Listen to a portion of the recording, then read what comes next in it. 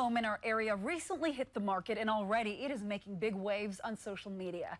A reason behind its traction online, it is priced at nearly $200,000. And Northern News Now's Cara Kopp spoke to listing agents to learn why the price was set so high and what it says about Duluth's housing market. Located on North 6th Avenue East, Well, as you come up to the home, you've got a front patio with a grill. sits one of Duluth's tiny homes.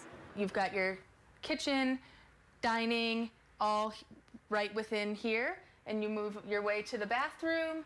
The bathroom has a full shower. You have a washer and dryer. Going up the ladder leads to your loft area. Despite being a tiny one bed, one bath home, it has a big price, which was set by the owners of the property, Simply Tiny, based out of Colorado.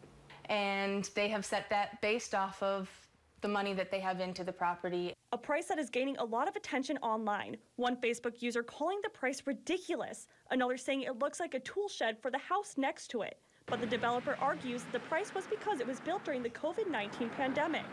building materials were high, labor prices were high, and there was a lot of obstacles that the builders and the owners of the home had to overcome throughout that whole process.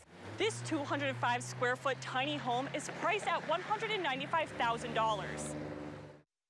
A mile down the road is this home, a four bed, one bath priced at $199,000, roughly 2,000 square feet more in space.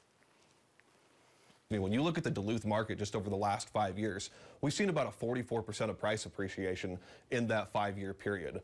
Meaning, on average, every house sold in the area in 2023 has hovered around $340,000, and prices continue to climb because of the housing crisis in Duluth. There's interest rates going up. We're hearing that, you know, buying is going to slow down, but the problem is there's still not nearly enough inventory to match that demand.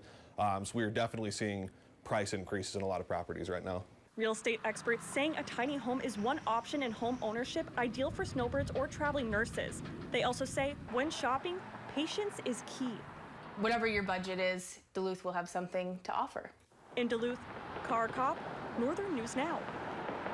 Now, that 205 square feet comes furnished with a queen bed, kitchen utilities, and more. At last check, it is still on the market.